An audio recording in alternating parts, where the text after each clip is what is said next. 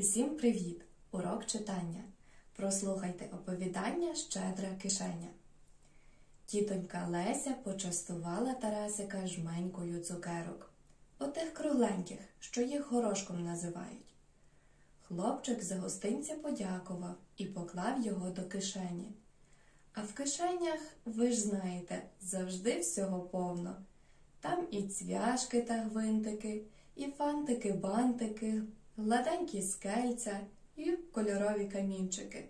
Та хіба тільки це? Кажуть, у доброго хазяїна кишеня без дна. Так це чи не так, не знаю. Але в нашого Тарасика саме така кишеня й була. Незамінна кишеня на все придатна, і солоденький горошок він усипав туди, не задумуючись. Та не знав тої миті Тарасик, що є в його кишені одна новина дірка. Вчора він прихопив з полиці мамину пилочку для нігтів. То та каписна пилочка цю новину й зробила. Солоденький горошок у кишені спочатку замурзався, а тоді помаленьку потихеньку в дірку повипадав. Одну горошину знайшла мураха. Почимчикувала до мурашника, привела родичів, і вони нею поласували. Другу цукерку надибав равлик. З одного боку покуштував, з другого кругом обійшов. Ото несподіванка, з усіх боків солодка. Ще одну цукерку сорока вгледіла. Вихопила її з трави. Ти диви, яка смачна намистина. Вік звікувала, такої не траплялося, та й з'їла її собі, дивуючи. Гусак стежинкою чалапав. А що воно таке? Чи то горох, чи квасоля, га? А хто його такого добра тут насіяв? Га? Га, га, га? А Барсик ні в кого не питав. Похрускав усі цукерки, що знайшов, і смачно облизався.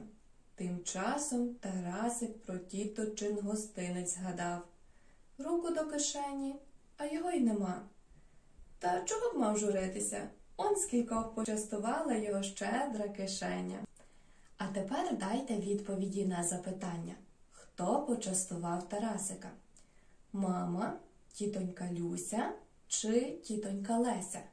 Хто почастував Тарасика? Мама, тітонька Люся чи тітонька Леся? Наступне друге запитання. Чим почастувала тітонька Леся Тарасика? Грушками, жменькою цукерок, яблучками. Чим почастувала тітонька Леся Тарасика? Грушами, жменькою цукерок, яблучками. Третє запитання. Куди поклав хлопчик гостинця?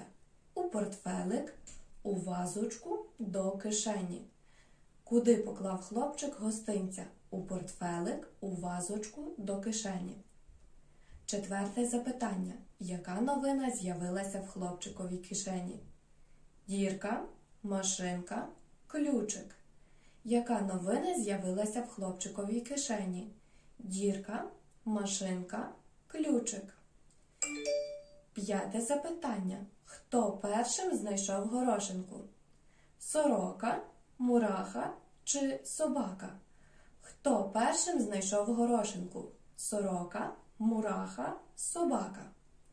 Запитання під номером 6. З чим сорока порівняла цукерку? З квасолинкою, з горошинкою, з намистинкою.